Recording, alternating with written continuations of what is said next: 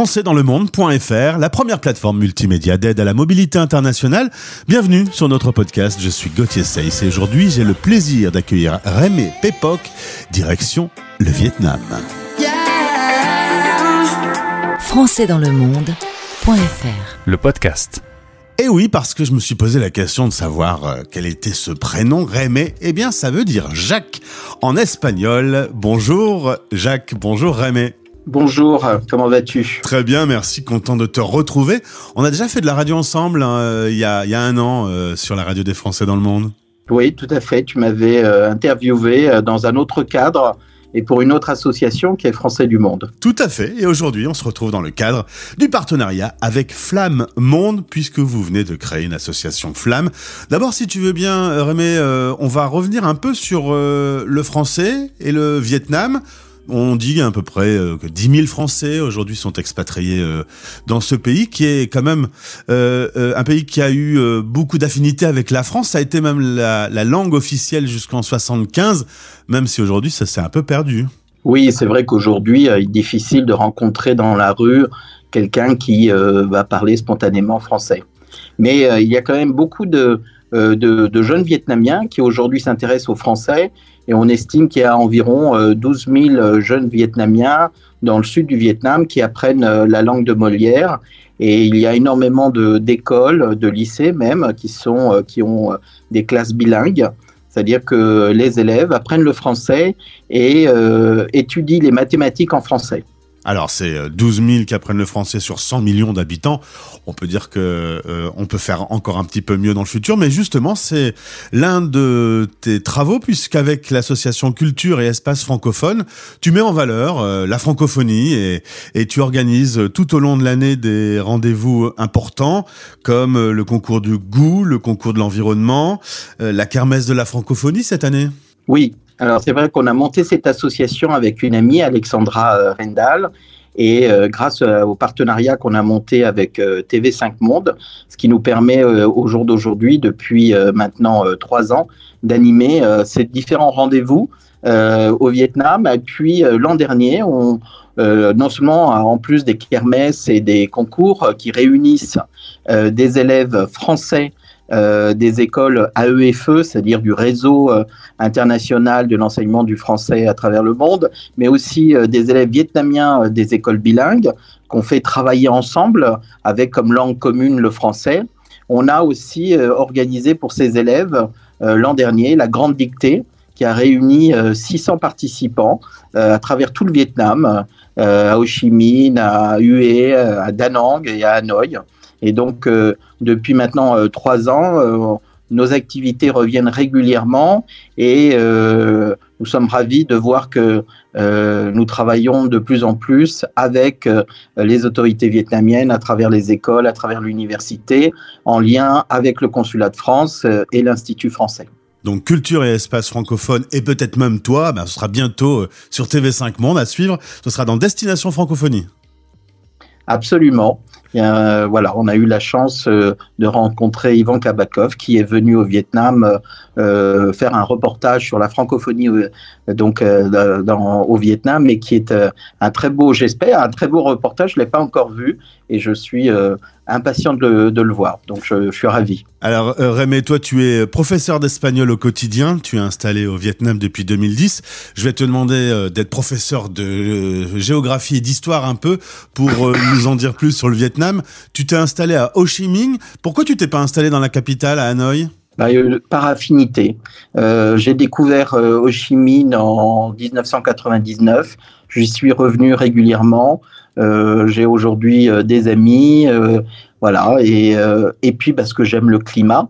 Le climat est très très agréable. Il est constant. il fait beau. il fait chaud toute l'année. Donc c'est très très agréable.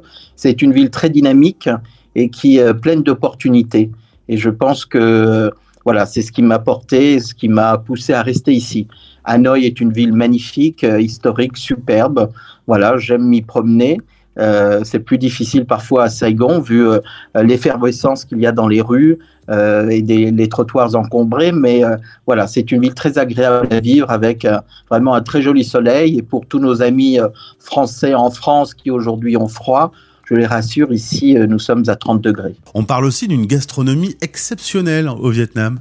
Absolument. Et c'est vrai qu'il y a vraiment, on, on, mange très très bien et puis il y a une variété liée aux régions avec une, une cuisine qui est assez différente au nord au sud et au centre du Vietnam, et la cuisine en particulier de Hue, l'ancienne cité impériale, est très renommée pour sa, finesse, euh, ses plats euh, qui sont euh, très savoureux et en même temps très parfumés.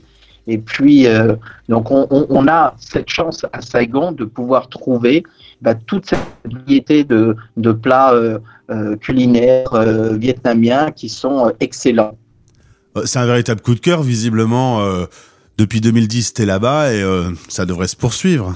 Oh oui, parce que euh, j'ai mon fils, euh, voilà, qui parle vietnamien et je, je compte beaucoup. enfin, c'est très important pour moi, qui à la fois pratique le français avec moi et ses amis, mais continue à pratiquer le vietnamien puisqu'il est vietnamien d'origine et puis euh, qu'il découvre cette euh, culture et ce magnifique pays où euh, il y a d'une grande diversité. On a souvent des images assez d'épinal, on va dire, sur bah le, Vietnam, qui sont très très belles, liées à, à, Hanoï ou liées à Hue, la cité impériale. Mais il y a une très grande diversité. C'est un pays où il y a 54 ethnies différentes, avec des cultures qui sont très différentes et des langues aussi différentes. Donc voilà, il y a beaucoup de variétés, des paysages extrêmement beaux, montagneux, maritimes, euh, des plaines avec le delta du Mekong. Voilà, donc c'est un très très beau pays. Euh, et que j'invite tout le monde à visiter. J'entends euh, une véritable passion quand tu m'en parles en tout cas. Tu me parlais euh, de ton fils, on va rester justement sur les enfants, puisque vous avez décidé de créer une association Flamme. C'est dans ce cadre qu'on se retrouve aujourd'hui. Depuis septembre 2023, vous accueillez des enfants. Alors il n'y a pas de cours, c'est pour des activités, activités ludiques, euh, autour de la chanson, autour de la cuisine. pourquoi vous avez voulu monter cette asso Flamme? Parce qu'il y a des enfants français qui sont euh, scolarisés dans des établissements où on ne pratique pas au quotidien le français. Et euh, il y a aussi des enfants euh, de nationalité française, mais qui sont élevés par leur maman vietnamienne, qui ne parlent pas toujours français au quotidien et qui ont besoin, en dehors de l'école, de pratiquer le français pour acquérir un vocabulaire, pour corriger parfois des fautes de syntaxe, de grammaire. Et donc, euh, on a estimé que c'était important qu'on puisse les accueillir, mais dans un cadre, euh, on va dire, ludique, euh, et qu'ils puissent être confrontés à la langue française à travers des activités qui permettaient d'avoir une diversité de vocabulaire. Donc, on a des ateliers très différents. Euh, qui peuvent être des ateliers euh, culinaires, effectivement, où on découvre la musique française. On va découvrir euh, aussi, on va parler du corps, on va parler de, de, produits de beauté, on va parler de la conduite, on va parler, voilà, tout ce qui peut permettre d'avoir une activité en groupe, d'interactivité, où on va être confronté à chaque fois à, une thématique de, et à des un vocabulaire différent. Combien d'enfants aujourd'hui euh, profitent de cette nouvelle école? Je suppose que c'est tout neuf, donc euh, c'est le début. Ah, c'est le début. Euh, on, appelle ça des ateliers parce que justement, on veut éviter le côté scolaire. on veut les accueillir dans un cadre qui ne l'est pas, même si évidemment on se retrouve dans une salle. Mais on essaye de faire en sorte que ce soit une jolie salle, décontractée. Hein. on peut s'asseoir par terre si on le souhaite. Et on, interagit vraiment dans un cadre hors, hors scolaire. Et euh, donc, on, nos élèves sont pas très nombreux parce que justement, par atelier, on souhaite que l'interactivité soit la plus facile euh, et, la, et la plus euh, importante possible. Donc, on limite nos groupes à 10, 12 maximum. D'accord. Voilà. Et alors, on vient de commencer notre activité, hein, ça depuis septembre. Donc, on a réuni pour le moment un groupe de 12 élèves et qui viennent depuis tous les samedis. Hein, euh, ça a lieu tous les samedis matins euh, pendant euh, une heure et demie, deux heures. ils viennent tous les samedis assister à nos différents ateliers. Et pour le moment, on a, on, espère ouvrir un, autre atelier où on va réunir d'autres élèves, mais on, veut les, on veut limiter par atelier. En tout cas, très important. Pour en savoir plus dans le lien de ce podcast, euh, vous pourrez trouver euh, les informations nécessaires à la création de cette association Flamme, si vous voulez en savoir plus et si vous voulez rentrer en contact avec euh, Rémé, notre invité du jour. Merci beaucoup d'avoir été avec nous. Comment on souhaite une belle journée aux auditeurs en vietnamien? Oui, tu peux, tu peux leur souhaiter une, une, en tout cas une, une bonne, so- euh, une bonne santé, hein, toute secouée, parce que euh, c'est souvent l'expression qu'on utilise pour euh, souhaiter à, à chacun de, de continuer comme ça en bonne forme sa journée. Donc, Eh ben. toute secouée. Eh ben, eh, je vais pas me lancer parce que je sais que je vais être très mauvais d'avance. Hein, J'ai pas été un grand spécialiste dans les langues. Euh, merci beaucoup Rémé pour euh, ce témoignage. Pour en savoir plus, direction le descriptif du podcast. Belle journée à toi. Merci d'avoir été avec nous. Je te remercie. À très vite. Français dans le monde.fr